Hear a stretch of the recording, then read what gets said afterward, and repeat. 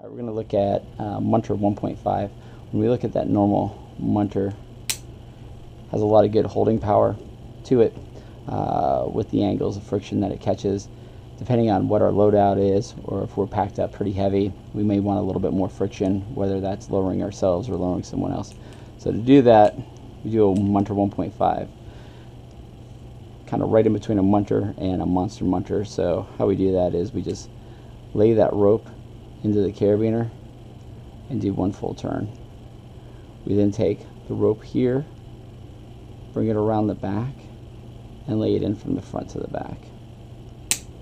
And that closes, adds a whole nother loop there of friction, and then it will flip and actually run the other way also. And that is the Munter 1.5.